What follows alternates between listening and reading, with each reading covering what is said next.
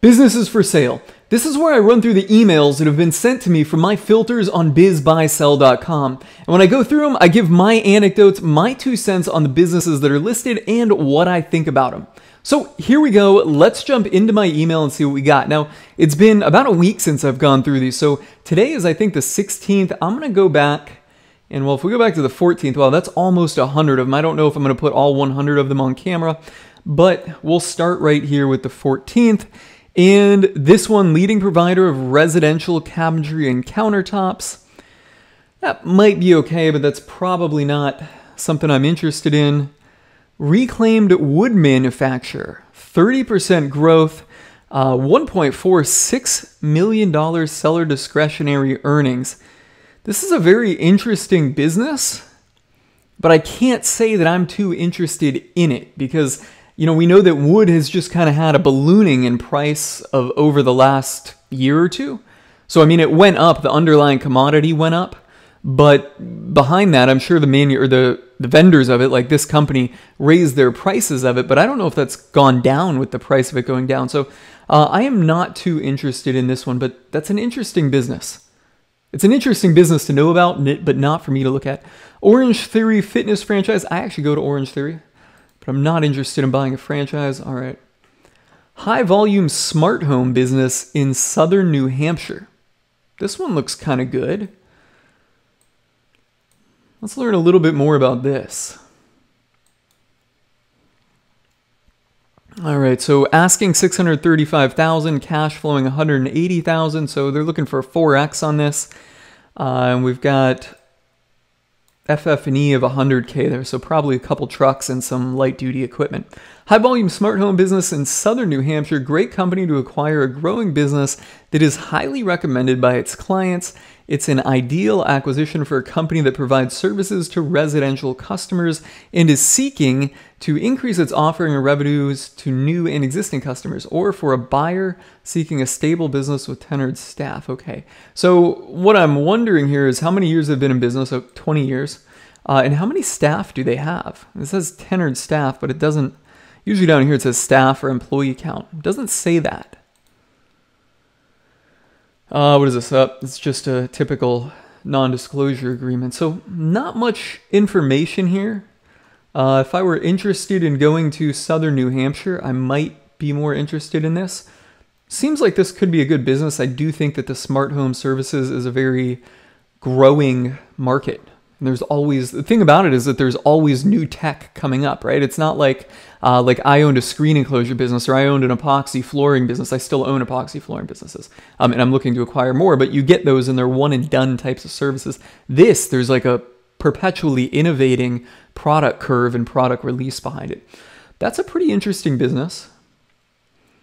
Flooring, outdoor power equipment deal, Atlantic Coast Sailing School.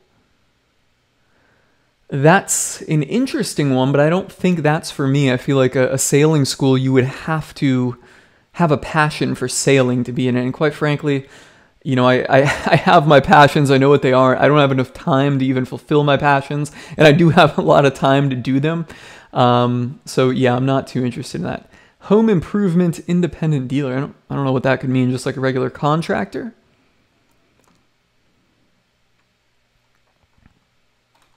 Not seeing anything that catches my eye there. Well known behavioral health practice. Uh, behavioral health practices I know are growing in popularity. A lot of people think, you know, that they really need to go see a shrink all the time, and maybe I'm just being insensitive. Um, but you know, I'm not really big into that space. But I do know that these things are growing rapidly. The people I know that are succeeding with them are either A, large private equity companies, or B, I do know of one scenario where a guy bought one, but his wife was a licensed behavioral health therapist or whatever. So, probably not for me. Dessert business, sports bar, coin laundromat. Don't know. Yeah, right. don't know which ones these came across, but I get a ton of filters in here.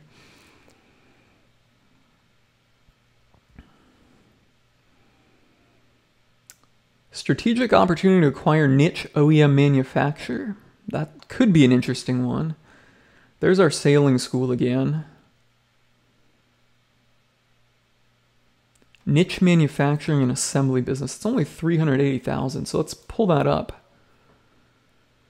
You know, going all in for a $10 million manufacturing business is really intimidating to me. Leading niche manufacturing and assembly business, custom fabricator specializing in manufacturing of process piping systems, from structural steel bases and pipe fabrication to modular piping systems.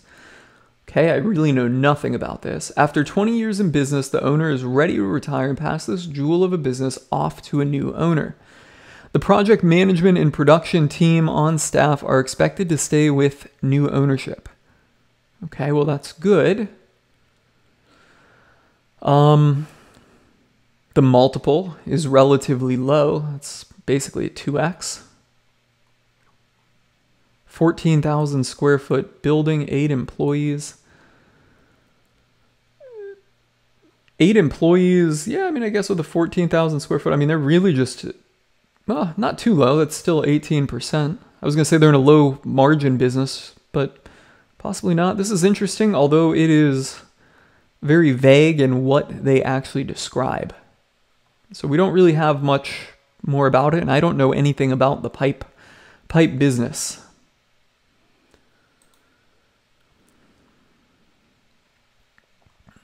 Ah, here we go. Profitable SaaS quiz maker with four hundred ten thousand dollars of account uh, accounts. Uh, automatic recurring revenue, I guess is what they're saying. ARR. I say AR, CAR, and I'm like, accounts receivable. ARR, uh, automatic recurring revenue, 576,000 in TTM, trailing 12 months revenue. So, I mean, I'm guessing, well, it's factoring for some churn in there. So the churn rate's about 25 to 33% on it, probably closer to 33. Um, cash flow in 376. 1.5 mil is the asking price, so they're looking for about four. Gross revenue, 576 grand. So gross revenue to cash flow, pretty solid for a SaaS product. Profitable SaaS quiz maker with $410,000 in automatic recurring revenue, 576, 141 in trailer trailing 12 months, 376 in SDE. That helps businesses increase leads with quizzes and gain insights via surveys makes it simple to share data with your existing marketing tools. Okay, sounds good. Employees, too. We have no facilities. Our two full time employees, two full time contractors, and vendors work remotely. We have no hard assets or inventory outside of our software code base. Okay. Um, I like that they're saying two full time contractors. That way it's not just leaving it you know, up to imagination where we're left wondering like, is the two full-time employees the owners themselves? Our product spans several different industries, including lead generation, customer feedback, and marketing data. These industries are very fragmented, with industry leaders owning just small percentages. Uh, lead generation competitors Sumo, Opt-in Monster, Hello Bar, Survey, Survey competitors, Survey Monkey. Okay. I'm semi familiar with these types of operations. Uh, they, you know, when they're saying lead generation here, these are not going for like home improvement remodeling or auto insurance or life insurance, those kind of buyer intent leads. These are going for things where they just want you to get you where they just want to get you to opt in with name and email address. That's you know that's what Sumo's in the business of. That's what Opt-in Monster is in the business of, along with Hello Bar. The SEO foundation of our website is very strong, can be expanded. Our domain rating is 76 as measured by Ahrefs. Cool. I mean, that's great. You know, that's great, but that really only matters if it turns into business. Previously, we had a service side of the software, which added 700K of yearly revenue. This is not included in the revenue listed. We spend very little on page, paid channels. Okay. So this is interesting. Um, you know, I like digital products. Uh, I like that this thing has been around since 2012. Um, I like the recurring revenue side of it. I think I'm going to inquire and learn more about this business here. And just says Southwest. I guess that really doesn't matter. What else do we got?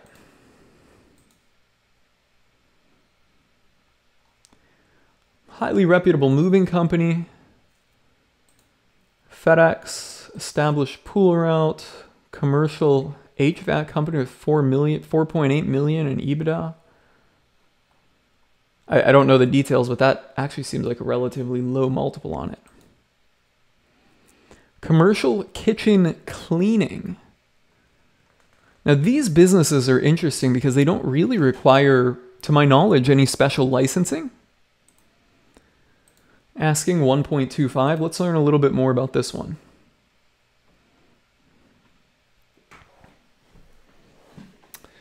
Don't miss this opportunity to purchase an established, successful, high cash flow niche business. The model is simple kitchen exhaust cleaning, serving approximately 200 stops per month.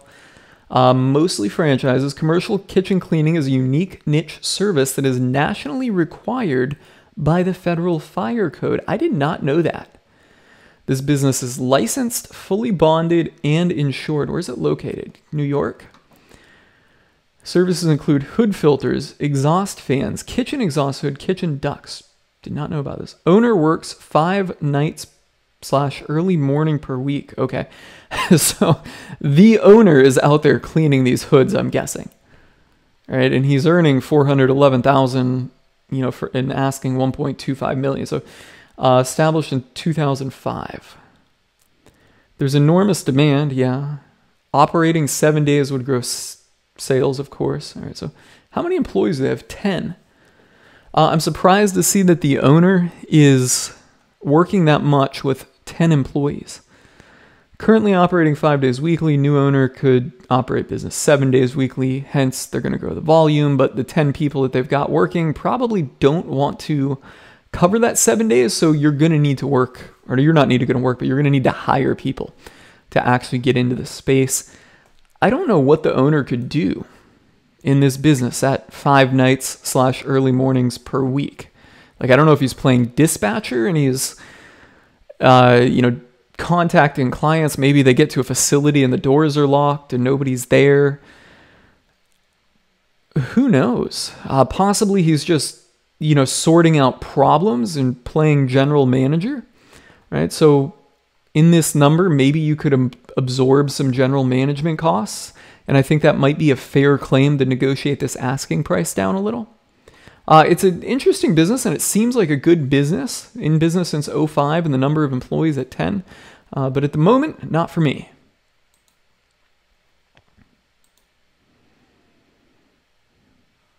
High end handcrafted furniture e commerce store. So somebody's making this furniture and selling it direct to consumer.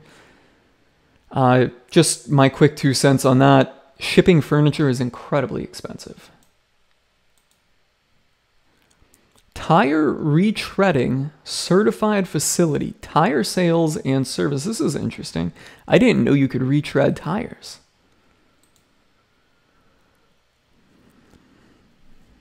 Where's this business located? New York. Uh, cash flow 650, asking 4x basically on that. The company is a full service commercial and retail business that specializes in tire sales, tire retreading. Services include sales, certified retreading, powder coating, and 24 hour emergency roadside assistance. So, this is seeming like a pretty regular run of the mill tire shop, except for this certified retreading. Brands included are Bridgestone. Okay, they've got the major brands. The business maintains many commercial and government contracts vast inventory selection in house, retreading equipment paid in full in mint condition.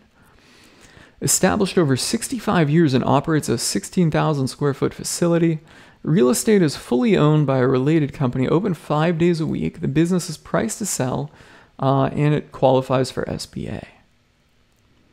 So I don't know much about the tire business. Uh, is it intriguing? Yes. If I were looking to move to New York, I would probably be interested in this 50 years in business, 65 years in business seems great. Eight full-time employees, that seems all right. Monthly rent 5,000, you need to make sure that that is factored into the transaction, right? Either that's factored in, well, I should say factored into the financial statements. Well, this seems like a nice business. Um, you know, I'm not really sure what else to say on this one. Just a space I don't know much about. Let's find one more here. I've still got a lot more of these to sift through. Aviation specialty manufacturer, aircraft and restoration sales. Might be a good business. One of the largest toy and gift importers and wholesalers. Uh, I'm not really interested in an importer or wholesaler because the trend is basically direct to consumer, cut out the middleman. Unless I'm missing something, and maybe there are some things that I'm missing, but to my knowledge, it's not worth sinking time in. Chiropractic and wellness center, it's kind of like the behavioral health thing. I don't really have the expertise in that, nor do I want to have to worry about constantly hiring. Kitchen design and build, no. Manufacturers, representatives, and marketing. This is interesting. Let's see what this business is.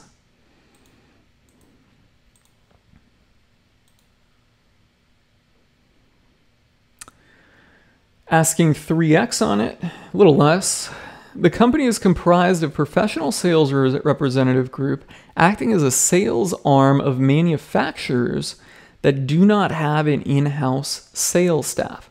It secures placements of products and builds marketing platforms for the manufacturer to local and national retailers, wholesaler, and e-commerce accounts. It does not have any product. It is a paid commission on all invoiced sales. It creates lasting business relationships between the manufacturer and retailer that will continue to produce results. Okay, so I get what they're doing here. They this is fundamentally a company that sells products and gets your products placed into major retailers and e-commerce people. Um, you know, and, and that that can be difficult to do. It helps if you have connections right? If you have a product you want to sell and get it placed in a major retailer, you kind of need to have a connection here. And this company seems like it's the liaison between it. Company is a 3,000 square foot standalone office plus a 300 square foot storage secure outbuilding. Okay. The company competes in retail program reviews at some accounts with other representatives selling similar to its brand. The company could benefit by merging with with a company with deeper PPC digital advertising, the company could also grow by adding more manufacturing clients. Um, this business, you know, what I'm thinking here is, well, the relationship between your team and the actual end buyers, the retailers, is very key to this business. Th these guys must have some relationships that have been around for a while uh, and have really cultivated them. And with four full time employees, if some of them you know, up and leave, you could be in a very tough pickle. This is an interesting business, but I would need to really learn more about it to decide if it's a business for me. But this is one that I am very interested in. So uh, we've been recording now. I've been going through these now for about 20 minutes. So I'm going to call it a wrap on this, guys. I hope you guys found this insightful. And if you're interested in any of these businesses, you know, you can certainly freeze the screen and kind of Google the name and find out, you know, or find it on BizBuySell for yourself and make an inquiry. If you guys have any questions, drop them in the comments below.